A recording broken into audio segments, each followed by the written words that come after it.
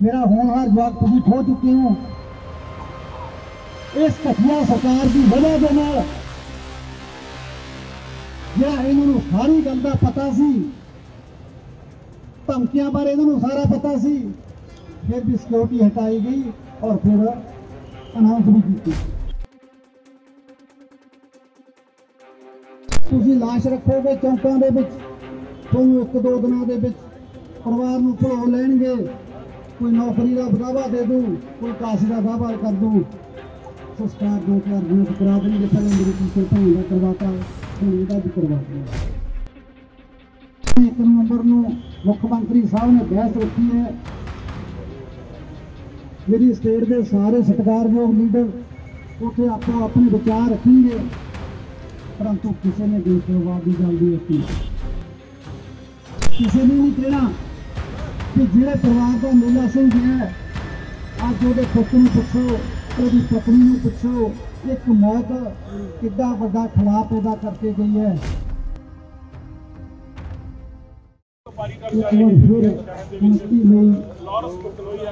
ਯਾਦ ਆਈ। ਬਹੁਤ ਸਾਲ ਤੋਂ ਦਾ ਇਸੇ ਸੰਘਰਸ਼ ਦੇ ਵਿੱਚ ਲੱਗਿਆ ਹੋਇਆ। ਅਸੀਂ ਪਰਿਵਾਰ ਉੱਪਰ ਚੁੱਕੇ ਹਾਂ। ਮੈਂ ਜਿੱਥੇ ਕਿਤੇ ਵੀ ਬੋਲਦਾ, ਮੇਰਾ ਕੋਈ ਸਿਆਸੀ ਮਕਸਦ ਨਹੀਂ ਹੁੰਦਾ, ਮੇਰਾ ਕਿਸੇ ਨਾਲ ਕੋਈ, ਕਿਸੇ ਵੀ ਵਿਸ਼ੇ ਤੇ ਮੈਂ ਕਿਸੇ ਪੰਜਾਬ ਦੀ ਸਮੱਸਿਆ ਬਾਰੇ ਮੈਂ ਕਦੇ ਕੋਈ ਆਪਣਾ ਸ਼ਬਦ ਨਹੀਂ ਰੱਖਿਆ, ਕਿਉਂਕਿ ਮੈਂ ਜਿਸ ਗੱਲ ਤੋਂ ਪੀੜਤ ਹਾਂ, ਮੈਂ ਹਮੇਸ਼ਾ ਜਿੱਥੇ ਵੀ ਮੈਂ ਗੱਲ ਖਿਲਾਫ ਗੱਲ ਕਰਦਾ। ਹੁਣ ਤੁਹਾਡੇ ਸਾਹਮਣੇ 1 ਨਵੰਬਰ ਨੂੰ ਮੁੱਖ ਮੰਤਰੀ ਸਾਹਿਬ ਨੇ ਬਹਿਸ ਰੱਖੀ ਹੈ। ਮੇਰੀ ਸਟੇਟ ਦੇ ਸਾਰੇ ਸਤਿਕਾਰਯੋਗ ਲੀਡਰ ਉੱਥੇ ਆਪੋ ਆਪਣੇ ਵਿਚਾਰ ਰੱਖਣਗੇ।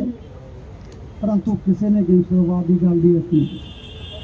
ਕਿਸੇ ਨੇ ਨਹੀਂ ਕਹਿਣਾ ਕਿ ਜਿਹੜੇ ਪਰਿਵਾਰ ਦਾ ਮੇਲਾ ਸਿੰਘ ਗਿਆ ਅੱਜ ਉਹਦੇ ਪੁੱਤ ਨੂੰ ਪੁੱਛੋ, ਉਹਦੀ ਪਤਨੀ ਨੂੰ ਪੁੱਛੋ, ਇੱਕ ਮੌਤ ਕਿੱਡਾ ਵੱਡਾ ਖਲਾ ਪੈਦਾ ਕਰਕੇ ਗਈ ਹੈ। ਜੇ ਬਜ਼ੁਰਗ ਮੰਜੇ ਤੇ ਵੀ ਬੈਠਾ ਹੋਵੇ ਨਾ, ਜਦੋਂ ਉਹਦੀ ਅਗਵਾਈ ਤੋਂ ਸਖਣੇ ਹੁੰਦੇ ਆ, ਸਾਲ ਦੋ ਸਾਲ ਲੈਣੇ ਦੇਣੇ ਦਾ ਨਹੀਂ ਪਤਾ ਲੱਗਦਾ ਬਾਜ਼ਾਰ ਤੇ ਦੁਨੀਆਦਾਰੀ ਦੇ ਵਿੱਚ। ਤੇ ਇਹ ਤਾਂ ਕਾਰੋਬਾਰੀ ਬੰਦੇ ਆ ਐਕਟਿਵ ਵਪਾਰੀ ਬੰਦੇ ਆ, ਜਿਨ੍ਹਾਂ ਨੂੰ ਸਾਡੀਆਂ ਸੰਸਥਾਵਾਂ ਨੂੰ ਵੀ ਆਪਣੀਆਂ ਸੇਵਾਵਾਂ ਦਿੰਦੇ ਆ। ਇਹਨਾਂ ਦੇ ਜਾਣ ਨਾਲ ਕਿੱਡਾ ਵੱਡਾ ਨੁਕਸਾਨ ਹੋਇਆ, ਕੋਈ ਸੋਚ ਸਮਝ ਨਹੀਂ ਸਕਦਾ। ਤਾਂ ਮੈਂ ਤੁਹਾਨੂੰ ਬੜੀ ਭਾਵਕ ਅਪੀਲ ਇੱਕੋ ਗੱਲ ਕਰਦਾ ਕਿ ਵੀਰੋ, ਨਾ ਤੁਹਾਡਾ ਕੋਈ ਮੰਤਰੀ ਆਵੇ, ਨਾ ਤੁਹਾਡਾ ਕੋਈ ਸੰਤਰੀ ਆਵੇ। ਤੁਸੀਂ ਲਾਸ਼ ਰੱਖੋਗੇ ਚੌਂਕਾਂ ਦੇ ਵਿੱਚ, ਤੁਹਾਨੂੰ ਇੱਕ ਦੋ ਦਿਨਾਂ ਦੇ ਵਿੱਚ ਪਰਿਵਾਰ ਨੂੰ ਭੁਲਾ ਲੈਣਗੇ। ਕੋਈ ਨੌਕਰੀ ਦਾ ਵਧਾਵਾ ਦੇ ਦੂ, ਕੋਈ ਕਾਸੀ ਦਾ ਦਾਵਾ ਕਰ ਦੂ। ਸੰਸਕਾਰ ਦੋ ਚਾਰ ਦਿਨਾਂ ਚ ਕਰਾ ਦੇਣਗੇ, ਪਹਿਲਾਂ ਮੇਰੀ ਟੀਚਰ ਭੈਣ ਦਾ ਕਰਵਾਤਾ, ਹੁਣ ਇਹਦਾ ਵੀ ਕਰਵਾ ਦੇਣਗੇ ਪਰੰਤੂ ਸਾਡੀ ਜਿਹੜੀ ਸਮੱਸਿਆ ਹੈ, ਉਹ ਜਿਉਂਦੀ ਤਿਉਂ ਹੈ? ਚਾਹੇ ਤਿੰਮੀ ਚਾਵਲਾ ਜਿਹੜਾ ਕੱਪੜਾ ਵਪਾਰੀ ਹੈ ਉਹ ਹੋਵੇ, ਚਾਹੇ ਮੋੜਾਂ ਤੇ 15 ਲੱਖ ਰੁਪਈਆ ਕੋਰਟ 'ਚ ਵੀ ਰਾਇਕ ਬਲੰਗਾ ਮੈਨੂੰ ਕਹਿ ਦਿੰਦੇ, ਮੈਨੂੰ ਕੱਲ ਰਜਿਸਟਰੀ ਚਿੱਠੀ ਆਈ ਹੈ, ਉੱਚਾ ਨਾ ਬੋਲਿਆ ਕਰ। ਭਾਈ 57 ਸਾਲ ਦਾ ਹੋ ਗਿਆ, ਬਿਲਕੁਲ ਕਫਨ ਬਣ ਕੇ ਚੱਲਦਾ। ਜਦੋਂ ਗੋਲੀ ਵੱਜਣੀ ਹੈ ਤੁਸੀਂ ਮਾਰ ਹੀ ਦੇਣੀ ਹੈ ਤੇ ਮੇਰੇ ਕੋਲੇ ਪਿੱਛੇ ਬਚਿਆ ਵੀ ਕੀ ਹੈ ਮੇਰਾ ਹੋਣਹਾਰ ਜਵਾਬ ਤੁਸੀਂ ਖੋ ਚੁੱਕੇ ਹੋ। ਇਸ ਘਟੀਆ ਸਰਕਾਰ ਦੀ ਵਜ੍ਹਾ ਦੇ ਨਾਲ ਜਿਹੜਾ ਇਹਨਾਂ ਨੂੰ ਸਾਰੀ ਗੱਲ ਦਾ ਪਤਾ ਸੀ, ਧਮਕੀਆਂ ਬਾਰੇ ਇਹਨਾਂ ਨੂੰ ਸਾਰਾ ਪਤਾ ਸੀ, ਫਿਰ ਵੀ ਸਿਕਿਉਰਿਟੀ ਹਟਾਈ ਗਈ ਔਰ ਫਿਰ ਅਨਾਉਂਸ ਵੀ ਕੀਤੀ। ਚਲੋ, ਉਹ ਇੱਕ ਵੱਖਰਾ ਵਿਸ਼ਾ ਮੈਂ ਅੱਜ ਬਾਈ ਮੇਲਾ ਸਿੰਘ ਦੀ ਧਿਆਨ ਕਰਦਾ ਕਿ ਜਿਹੜੇ ਮੇਲੇ ਮੇਰੇ ਸਾਹਮਣੇ ਖੜੇ ਨੇ, ਮੈਂ ਇਹਨਾਂ ਦੇ ਬਾਰੇ ਗੱਲ ਕਰਦਾ ਜੇ ਤੁਸੀਂ ਦੁਬਾਰਾ ਫੇਰ ਘਰਾਂ ਦੇ ਵਿੱਚ ਵੜ ਗਏ, ਤਾਂ ਤੁਹਾਡਾ ਵੀਰੋ ਕੋਈ ਹੱਲ ਨਹੀਂ ਹੈ। ਮੈਂ ਇੰਨੀ ਜਿਹੜੀ ਸਰਕਾਰ ਤੋਂ ਉਮੀਦ ਆਪਦੀ ਜਾ- ਰੱਖਦਾ ਹਾਂ ਵੀ ਜੇ ਜਿਹੜੇ ਨੇ ਦੁਕਾਨ ਸਵੇਰੇ ਖੋਲੀ ਹੈ, ਕਿ ਉਹਦੇ ਘਰ ਦੇ ਇੰਨਾ ਕੁ ਯਕੀਨ ਰੱਖਣ ਵੀ ਪਾਪਾ ਆਥਣ ਤੱਕ ਘਰੇ ਆਊਗਾ। ਤੁਸੀਂ ਇਹੋ ਜਿਹੇ ਹਾਲਾਤ ਕਰਤੇ ਯਾਰ, ਕੋਈ ਕਾਰੋਬਾਰੀ ਸਾਰੇ ਪਿਸਤੌਲ ਲੈ ਕੇ ਚੱਲ ਪੈਣਗੇ। ਸਾਰਿਆਂ ਨੂੰ ਸੁਰੱਖਿਆ ਗਾਰਦਾਂ ਦੇ ਦਿਓਗੇ। ਇੱਕ ਬੰਦਾ ਇੱਕ ਕਤਲ ਕਰਦਾ ਕਤਲ ਤੋਂ ਬਾਅਦ ਡੀਸੀ ਵਰਗੀ ਫੀਲਿੰਗ ਲੈਣ ਲੱਗ ਜਾਂਦਾ ਹੈ। ਫਿਰ ਜਿਹੜਾ ਕੋਈ ਲਾਲਾ, ਕੋਈ ਕਾਰੋਬਾਰੀ ਹੈ, ਕੋਈ ਕੋਈ ਸ਼ਖਸ ਨੂੰ ਹੈ। ਇਸਦਾ ਕਿ ਕਾਰੋਬਾਰ ਹੈ, ਜਿਹੜੇ ਉੱਤੇ ਨਾਲ ਬੈਠੇ, ਫਿਰ ਉਹਦਾ ਨਾਂ ਲਿਖਾਉਂਦੇ ਆ। ਫਿਰ ਉਹਦਾ ਕੰਟੈਕਟ ਨੰਬਰ ਲੈਂਦੇ ਆ। ਫਿਰ ਉਹਨੂੰ ਦੱਸ ਦਿੰਦੇ ਫਿਰ ਉਹਦੇ ਕੋਲ ਬਾਹਰੋਂ ਬੈਠੇ ਤੋਂ ਫੋਨ ਕਰਵਾਉਂਦੇ ਆ। ਤਾਂ ਸਰਕਾਰ ਭ੍ਰਿਸ਼ਟਾਚਾਰ ਦੇ ਮਗਰ ਪਈ ਹੋਈ ਹੈ ਕਿਤੇ ਕਿਸੇ ਕਾਲੀ ਨੂੰ ਬੰਦ ਕਰਤਾ, ਕਿਸੇ ਕਾਂਗਰਸੀ ਨੂੰ ਕਰਤਾ, ਕਿਤੇ ਕੋਈ ਲੀਡਰ ਫੜ ਲਿਆ ਕਦੇ ਕੋਈ ਫੜ ਲਿਆ। ਕਰੋ WhatsApp ਨੰਬਰ ਜਾਰੀ। ਫਰੋਤੀਆਂ ਦੀਆਂ ਕਾਲਾਂ ਪੁੱਛੋ ਆ ਵਪਾਰੀਆਂ ਤੋਂ। ਖਿਡਾਰੀਆਂ ਤੋਂ, ਉਦਯੋਗਪਤੀਆਂ ਤੋਂ, ਜਿਹੜੇ ਕੋਈ ਸੈਲੀਬ੍ਰਿਟੀਆਂ ਨੇ ਕਲਾਕਾਰਾਂ ਤੋਂ। ਵੀ ਤੁਸੀਂ ਕਿੰਨੇ ਤੰਗ ਹੋ? ਸਟੇਜ ਤੇ ਚੜ੍ਹਨ ਤੋਂ ਡਰ ਲੱਗਦਾ ਹੈ। ਸਵੇਰੇ ਘਰੋਂ ਚੱਲਦੇ ਆ ਸ਼ਾਮ ਤੱਕ ਇਹ ਨਹੀਂ ਪਤਾ ਹੁੰਦਾ ਪਹੁੰਚਾਂਗੇ ਕਿ ਨਹੀਂ ਪਹੁੰਚਾਂਗੇ। ਇਹ ਮਾਹੌਲ ਕਿਹਨੇ ਦੇਣਾ ਅਸੀਂ ਸਰਕਾਰ ਤੋਂ ਕੀ ਮੰਗਦੇ ਆ ਨਾ ਲਾਓ ਫੈਕਟਰੀਆਂ, ਨਾ ਸਾਨੂੰ ਉਦਯੋਗ ਸਕੂਲ ਕਾਲਜ ਜਾਂ ਸਾਨੂੰ ਸਾਹ ਲੈਣ ਦੀ ਆਗਿਆ ਦੇ ਦਿਓ ਕੱਲ੍ਹ। ਸਾਡੀ ਸਾਡੇ ਮੇਲੇ ਕਿਹਦੇ ਬਚਾਉਣੇ ਆ ਸਰਕਾਰ ਦੀ ਜ਼ਿੰਮੇਵਾਰੀ ਹੈ, ਸਰ। ਪਰ ਸਰਕਾਰ ਕੋਲੇ ਕੀ ਹੈ?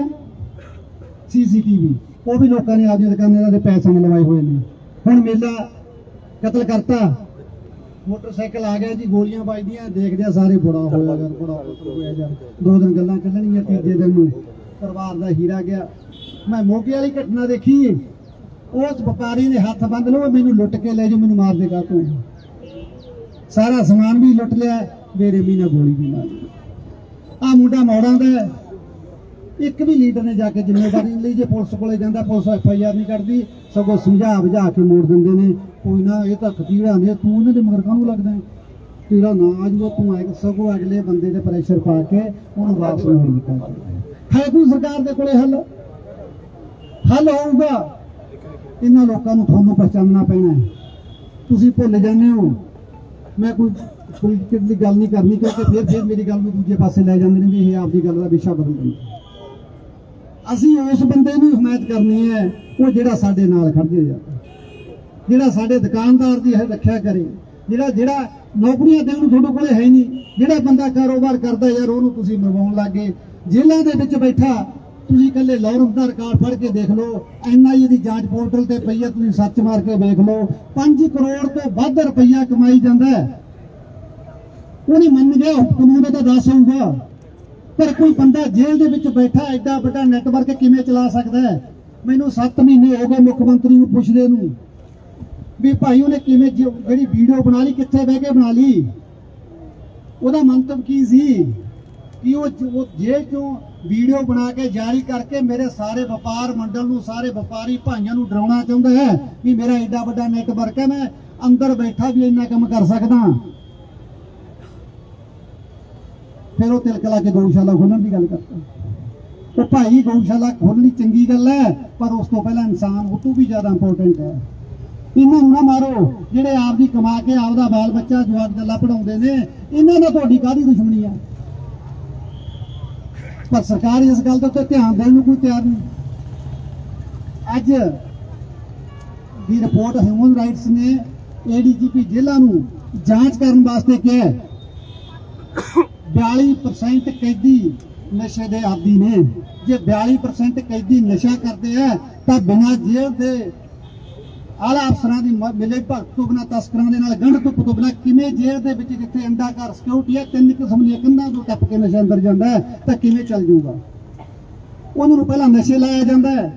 ਫਿਰ ਇਹੋ ਜਿਹੇ ਘਿਨੌਣੀਆਂ ਕਾਰਵਾਈਆਂ ਕਰਵਾਈਆਂ ਜਾਂਦੀਆਂ ਵੀ ਤੈਨੂੰ ਦਿੰਨੇ ਥੋੜਾ ਬਹੁਤਾ ਸਮਾਨ ਜਾਂ, ਫਲਾਣੇ ਦੀ ਰੇਕੀ ਕਰਕੇ ਆ, ਫਲਾਣੇ ਦਾ ਕਿਤੋਂ ਕਿਤੋਂ ਰਾਖੀ ਰੱਖੋਗੇ? ਜਦੋਂ ਜਿਹਦੇ ਨਾਲ ਤੁਹਾਡੀ ਬਣਦੀ ਨਹੀਂ, ਉਹ ਤੋਂ ਤੁਸੀਂ ਕਦੇ ਗਲੀ ਬਦਲ ਕੇ ਲੰਘ ਜਾਓਗੇ, ਰਾਹ ਬਦਲ ਕੇ ਲੰਘ ਜਾਓਗੇ।